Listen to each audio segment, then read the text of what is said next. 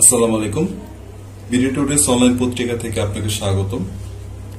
আজকে আমরা আছি বাংলাদেশের Sanandan hospital PPSC hospital and diagnostic ল্যাবে আমরা একজন পেশেন্টের সাথে কথা বলব যিনি কিনা এখানে দীর্ঘদিন যাবৎ ভর্তি দিনে আছেন। তো সরাসরি পেশেন্টের সাথে কথা বলি। জি আসসালামু আলাইকুম। আচ্ছা আপনার নাম কি? মোহাম্মদ শুকুর আলী। মোহাম্মদ শুক্কুর আলী। আপনার আপনি কোথেকে আসছেন? আমি সিলেট থেকে আছি সিলেট থেকে আসছেন। আচ্ছা। আচ্ছা, আপনি এখানে কেন এসেছেন? কেন আসছি? আমি আঁটুর বেতার জন্য। আজকে আমি প্রায় ছয় বছর ধরে আমি ভুগতেছি। হাঁটুর ব্যথার জন্য? জি। ব্যথাটা কি ছয় বছর ধরে যাবৎ ছিল? জি। এখানে আমি ইন্ডিয়ান দুইজন ডাক্তার দেখাইছি। কোনো সুফল পাই নাই। পরে বাংলাদেশে এই পাঁচ ছয় বছরে আমি প্রায় আরও পাঁচজন ডাক্তার দেখাইছি। কোনো সুফল পাই নাই। এরপরে মনে হয় আমি কেন নেটের মধ্যে আপনারা এগুলা পাইছি আমি পাইয়া সারর এগুলা পাইয়া। তো দেশে আই- ওখান থেকে আমি যোগাযোগ করছি। আপনাদের সাথে এখানে যোগাযোগ করছি হসপিটালের সাথে। এরপরে আমি দেশে আইয়া এখানে আসছি। আমি আচ্ছা। নয় তারিখ আসছি দেশে। আচ্ছা এই হাঁটুর ব্যথা ব্যথা নিয়ে আপনি কোথায়? ইন্ডিয়াতে দেখিয়েছিলেন? জি না দুবাইতে। দুই- দুবাইতে দে- দেখেছিলেন। আচ্ছা দুবার দেখেছিলেন। কিন্তু কোনো আপনি কোনো ইয়া পাননি সুফল পাননি। আচ্ছা। বাংলাদেশে দেখেছিলেন কোথাও এর আগে? জি সিলেট দেখাইছি। সিলেট দেখেছিলেন। তারা কোনো সুরা দিতে পারেনি? ওষুধ। খাইছি বছর আচ্ছা। বছর কোনো কিছু হয় নাই। তাদের ট্রিটমেন্টটা কি ছিল?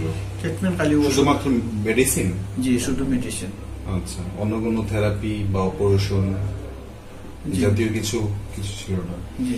আচ্ছা তো ডিপিএসসি তে আপনি কি কেমন চিকিৎসা নিচ্ছে? মানে চিকিৎসা সেবাটা কেমন তাদের? শুধু কি মেডিসিন নাকি অন্য কিছু? এখানে ব্যায়াম ব্যায়াম। এরপরে হিট থেরাপি বা মেডিসিনও আছে। আচ্ছা। বা তাদের সেবাটা আমার কাছে অনেক উন্নত বা অনেক ভালো লাগছে। আশা করি আল্লাহ রহমতে আল্লাহ আমার শিক্ষা দিবেন। আচ্ছা এখানকার থেরাপি মানে এখানকার চিকিৎসা সেবাটা হচ্ছে থেরাপি থেরাপি এবং মেডিসিন মেডিসিন জি থেরাপি হিট দেওয়া। যেগুলো। আচ্ছা কতদিন যাবত এখানে আছেন আপনি? এখানে আমার আট দিন হয়ে গেছে। আট দিন? আচ্ছা। আপনি এমনি থাকেন কোথায়? আমি দুবাই থাকি। দুবাই থাকেন?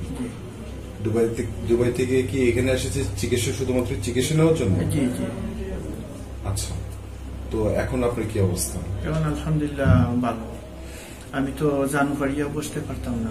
বসতে পারতেন? জি না। কালকে স্যারে যে একটা জব আছে আকু করছে ওটা করার পরে আল্লাহ রহমতে আমি বসতে পারছি মানে কীভাবে বসতে পারতেন আমাদের। একটু দেখাবেন কি কি সমস্যা ছিল জি। Sure.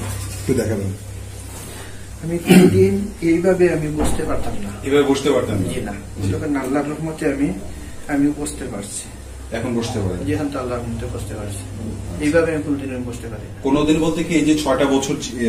ছয়টা বছরের যে জি। সমস্যাটা ছিল ছয়টা বছরের মধ্যে আপনি এইভাবে বসতে পারতেন? বসতে পারছি না আমি এইভাবে আচ্ছা আল্লাহ- কিন্তু এখন বসতে পারেন এখন আল্লাহর রহমতে প্রায় বারো আনা সুস্থ মতন এখন কোনো বসতে কোনো সমস্যা হচ্ছে না সামান্য যেমন কেন ধরতেছে সামান্য আচ্ছা আচ্ছা আচ্ছা। তা আল্লাহর রহমতে আমি নমাজটা পড়ছি। এইভাবে আগে নামাজ পড়তেন এইভাবে এইভাবে। আচ্ছা। এখন কি নামাজ পড়তে পারেন? কালকে আমি আল্লাহর রহমতে জানু পারিয়া বুঝে নামাজ পড়তে পারছি তাই? আগে আগের মতো। আচ্ছা। ঠিক আছে তাহলে আপনার সমস্যাটা যেটা ছিল এই সমস্যাটা ছয় বছর যাবত আপনি ভুগছিলেন। তো এই শুধুমাত্র কি আট দিনের আট দিনের মাঝে আপনার সমস্যার সমাধান হয়েছে? আট দিনের মধ্যে আমি আল্লাহর রহমতে আমি অনেক সুস্থ।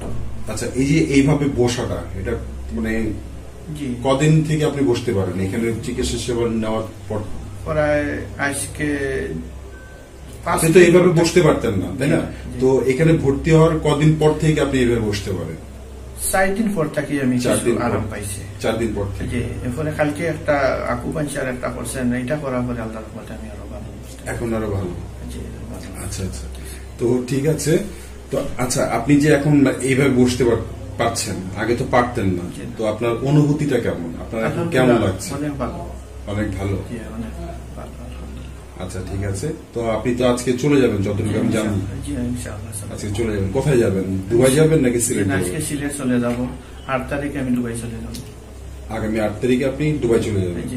আচ্ছা ঠিক আছে। আপনাকে আপনার জন্য শুভকামনা রইল। আপনি ভালো থাকেন।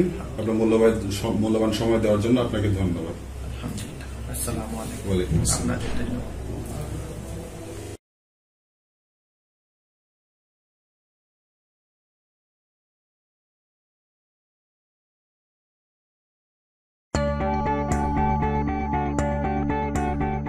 আমরা জানি আপনার প্রিয়জন আপনার জন্য কতটা গুরুত্ব বহন করে। আর তাই সঠিক ডায়াগনস্টিক রিপোর্টের জন্য আপনারা আমাদের কাছেই আসে।